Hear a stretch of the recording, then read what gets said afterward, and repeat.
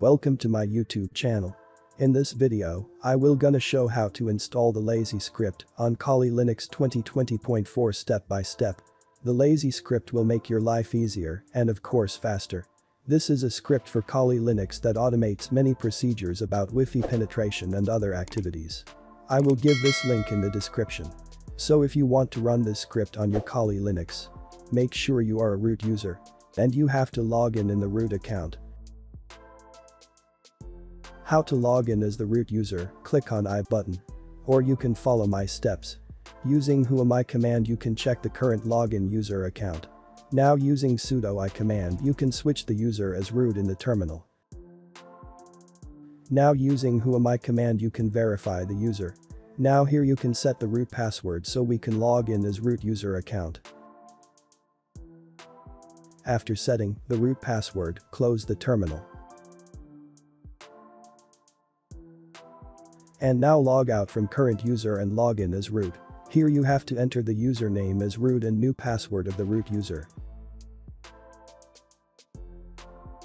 Now using whoami command you can verify the login user.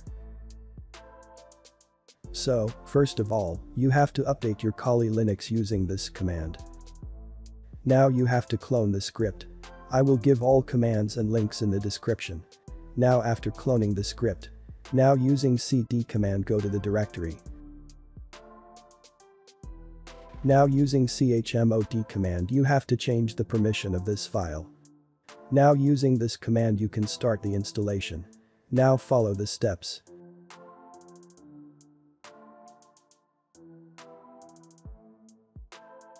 Now here you have to select the option. The first time you have to choose the I. Now, this script opens a new terminal. You have to close the old one. And press any key to continue. Now type yes and hit enter. Enter your interface name or hit enter as default settings. Now again press any key to continue. Now you can see the installed script. All the tools depend on your input. For example type update to update your current script. Now it is checking the updates and show installed version.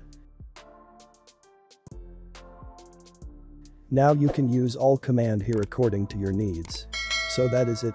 This is the way how to install the lazy script on Kali Linux. Thank you for watching this video. And make sure to subscribe my channel so you don't miss out on my future videos. Thank you very much, see you in next video.